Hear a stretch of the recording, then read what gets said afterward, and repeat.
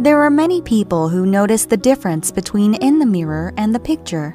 In fact, it is said that the image in the mirror is closer to the real face, but if you know why the picture doesn't come out well and how to get it closer to real face, wouldn't you be able to take a picture with a little more confidence? There are many reasons that someone is not photogenic, but in this video, I am going to talk about facial features.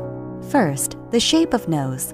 If we simply express the nose as a 3D figure, it is a triangular pyramid composed of the bridge of the nose and the wall of the nose. In real life, the nose is recognized mainly on the bridge of the nose, but in the photo, the nose walls and the nostrils corresponding to the side are recognized as nose, so the nose appears wider than reality. For those with a clear boundary between the bridge of the nose and the nasal wall, those with a sharp and high nose, there is no significant change even if you take a photo. But such as Kim Go-eun with round nose, Yeri Han with a wide nose, Suzy with a thick nose, Ji Ae and Sung Kyung-hee with a low nose have a flat face or a large nose in the photo because the boundary between the bridge and the nasal wall is not clear. The nose is the most protruding part of the face, and it is the most important point to create a three-dimensional effect on the face.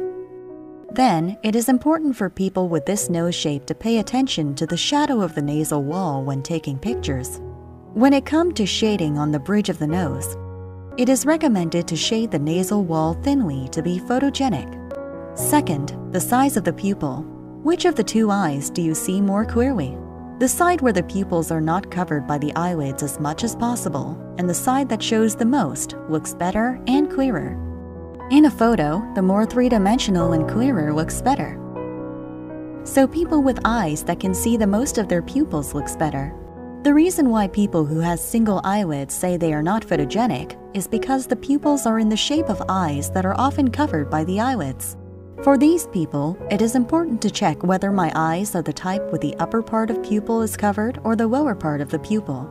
If the upper part is the type with the upper part covered, it is important to hold the eyelashes through a curler.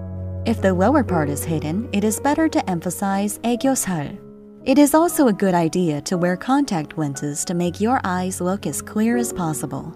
In summary, those who do not have a clear boundary between the bridge of the nose and the walls of the nose, and those whose pupils are covered by the eyelids, are more beautiful in real life than in the photo.